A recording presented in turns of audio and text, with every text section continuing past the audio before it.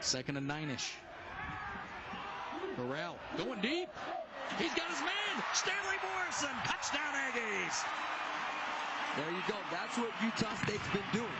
Run the ball, run the ball, throw some outs, throw some ins, run the ball, then right at the right moment, go up top. Those corners might have been falling asleep. They haven't seen anything thrown deep down the field yet.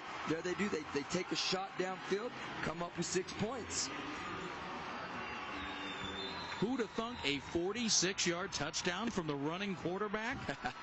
but Stanley Morrison was the guy that offensive coordinator Daryl Dickey said they were expecting something big from this week. It was time to step up. And Utah State answers Idaho's opening drive. So both teams score on their first possession of the second half. And we're even again. Utah State won by air. Tied at 14.